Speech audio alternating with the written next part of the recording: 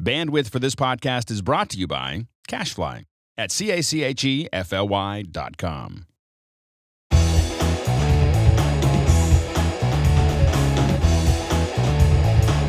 Welcome back to MacBreak Studio. I'm your host, Steve Martin, and I'm in studio with, of course, Mark Spencer, and we're going to talk motion. Motion. Surprise, surprise. We're going to talk about motion cameras in particular, how to move the camera on a set, and Yeah, a little bit about 3D and, and how to work with Motion's camera, because Motion has, I mean, you can work in Motion without doing any 3D for years and be very happy. There's a lot of cool stuff. you so you're do just going to stay in the 2D world. in the 2D it's gonna- world, yeah. But once you open the 3D world, it's it, things just open up. There's a lot more you can do with Motion. You're walking through the door of 3D. You are, you are, and it's easy to get lost in 3D because it opens everything wide. So I want to show a few tools for navigating 3D space. Right. So I have a little set that's built right here. And by the way, this is based on a project from the folks at uh, MotionVFX.com, which they sell a bunch of templates, some really great templates. This, is, this is ama- an amazing assortment of templates you gotta, you gotta Yeah. check out. We like those guys, and um, so this is one of them. And I don't have a camera in this project right now. And even without a camera, Motion is actually always uh, a 3D app. And what I mean by a 3D app, means you can always change the position or rotation of a, of a layer or a group in 3D space.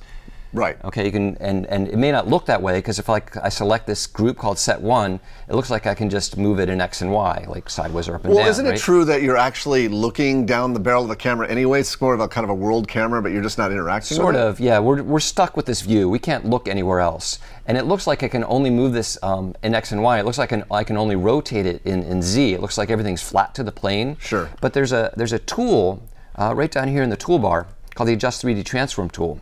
And even without a camera in the scene, if I select that, we get some new controls in the HUD and we get some new controls in the canvas. And now I can actually rotate this uh, around the y-axis. You can see it spin around there. I can rotate it around the z-axis like we did before. I'm just undoing. Now that's not doing like a fake 3D. That's a full it's 3D where you're like a sphere and you're moving in a, in a true 3D environment. We're moving in a true 3D environment. However, things look a little weird here because that floor underneath those little hexagons look like they're kind of flattening out. And Yes. that's because we are in 2D groups. I see. Okay, so although you can always manipulate layers and groups in 3D space, um, you can't really have them interact in 3D space unless they're in 3D groups.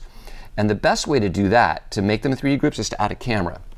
So down here on the right side of the toolbar is the uh, button to let you add a camera. So what I'm going to do is click that, and it's going to ask me, hey, cameras will only affect 3D groups. You know, if something's in a 2D group, it will not be affected by camera, which is useful. so you're essentially turning that group into a 3D group. I'm turning all the groups into 3D groups here. I'm just saying switch to 3D, and immediately the we suddenly icon see changes too. Yeah, so a lot of things have happened here. These little icons for the groups have changed to this little stack. Here, I'll switch it back again. You can click on it to switch it back. So now it's 3D, now it's 2D, now it's 3D.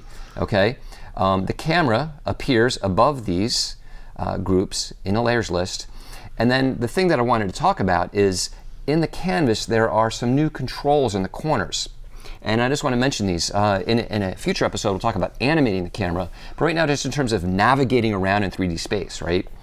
So this guy at the bottom is called the compass. And if you move your mouse over it, it'll tell you uh, how you can move around in 3D space. Now, I'm not going to move the camera. This is like my view. It's if right now we are looking through the eye of the camera at the scene, and nothing's changed because motion put that camera exactly where we already were. Sure. Right? So it doesn't really look like anything changed. But we can actually step away from the camera. If I move over the compass and click on top, I just left the camera and flew up to the ceiling. And now you're looking down at the set of Yes. the camera, the, what the camera's pointed at, everything. Yes, exactly. So Now I've heard this called orthogonal view. Why do they call it? Or, that seems like ten dollar word. Yeah, Orthogonal. it's Why? an orthogonal view. I'm looking straight down the y-axis, and there's no perspective at all. That's what it means by orthogonal. We're not going to see any sort of normal distortion you see from perspective at all. Right. We're looking straight down that axis, so we can see the whole pattern that's on the floor.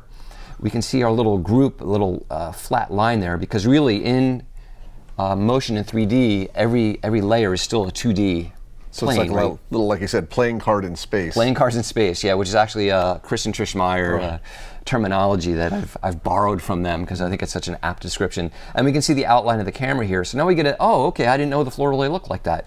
We could also use this little uh, compass to go to a right view and we fly over to the right. And it's nice how it animates, so you really get a sense of where we're going to look at the scene. Right. Now we can see it from the side. From that side, um, we can look at the bottom of it. uh, or we can click on this little uh, yellow box in the middle to go to a perspective view. And when you go to perspective view, it's like right now we just stepped back a little bit from the camera. We're still kind of looking through it, but we stepped back, and that's why this big X is here in the middle because we stepped back. So I want to show you up at the top right. These controls are called 3D view tools. So you're going to view the scene as you're walking behind or around the camera. Well, what I'm going to do is now adjust my view. So I've, I've used the compass to go to a specific view, Right. and now I can adjust that Got view it. with the 3D view tools. Again, I'm not moving the camera at all right now. Just your view of the set. And the way I remember these guys is uh, is iPod. So P O D because this is pan, orbit, and dolly. Nice. So they, you know, pan moves the scene around like this, so left or up, down. Orbit twists it, and then dolly pushes back in and out. And there we can see our camera looking at the scene. What happens if you click off the camera in the layer list? If we click off the camera in the layer list, the outline of it disappears. We still see the body of the camera. But if we select it, we're able to see uh, this big square that we see, sorry, big rectangle, is the focal plane of the camera.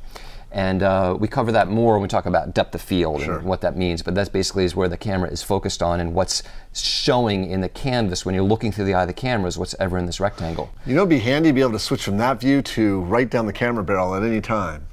Yes, yes. So now the, the question is if I've looked around my view and I get a sense, okay, I can understand what's in my 3D world, I can look around, there's nothing else here that I can see, how do I get back? Because if you go back to these 3D view tools, there's no way to get back to the camera. So this menu at the top left is called the camera menu. And you can see right now it says perspective.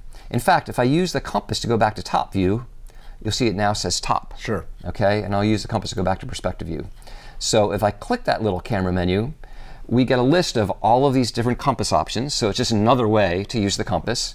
Mm-hmm. But as you referred to, here's a way to go back to the camera. Sure. Okay, and that you'll use these once working in 3D. You'll use these keyboard shortcuts all the time. So active camera brings me right back, looking straight through the eye. Like the if you're looking down the viewfinder of a camera, this is what you'd see. Yes, yeah, we're now looking through the camera.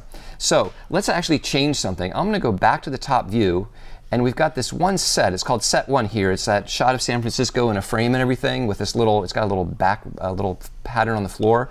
I'm just going to Command D to duplicate that guy. Actually, before I even do that, I'm just going to take the set and I'm going to move it over here. Uh, let's not do that. Let's not do that. I'm going to leave it there, Command D to duplicate it, and then I'm going to take this copy and I'm going to move it over here. So you have two identical sets placed in different uh, spatial relationships Yes, to each and in fact, you look at the bottom right corner. You like how I'm pointing at this because you guys can see me pointing at the screen. That's called the inset Yeah. view. That's the inset view, right? That lets you see through the eye of the camera, even though we're in this top view, so that we can easily position objects in 3D space. We can see exactly what we're getting from the perspective of looking through the camera. So it's like we can be in two places at once, which is a, a nice way to sort of help you set your setup. Absolutely. Okay. So now I've got a second uh, little set over there. I'm going to hit Command D again to duplicate that again, and I'll move it over here. And once again, we get a little three view. Now, all of these things are controlled, whether you see these uh, little overlays in this grid in this inset view, in this view pop-up menu. See down here it says Show 3D Overlays, and the 3D View Tools are these things at the top right that are now obscured by this menu. The compass, we know what that is. The inset view, we just went over. The 3D grid is this white lines here that we can see. Helps you align things. Yep. And then the 3D scene icons, if I turn them off, um, turns off all the little li- icons of the camera or any lights you may have added. So one thing you want to check is to make sure basically all these are checked. Got it. So you've got full access to these tools.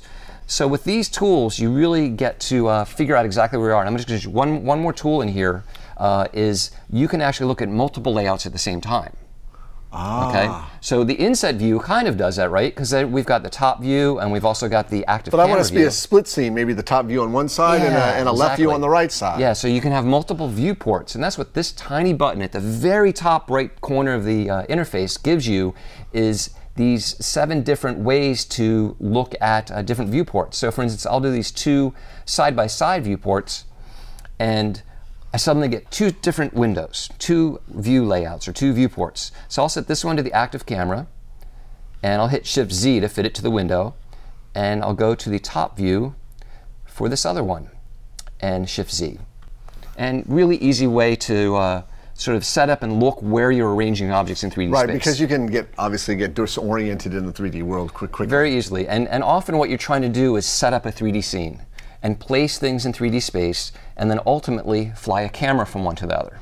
Which we're going to do, presumably, in the future Episode. In a future episode, yes, yes. Now, um, I understand that uh, you've just finished a tutorial on mastering the camera in motion. Yeah, by incredible coincidence, I finished a uh, Mastering Motions camera, mastering, mastering the camera in Motion 5. Yes. Right, which focuses on obviously how to use the camera in a, in a great deal of depth, uh, using, using some of these awesome projects from motionvfx.com. Excellent. Yeah. So if you're interested, check out our site and uh, stay tuned for more uh, episodes on uh, animating the camera and working with the camera in Motion 5. Thanks for watching.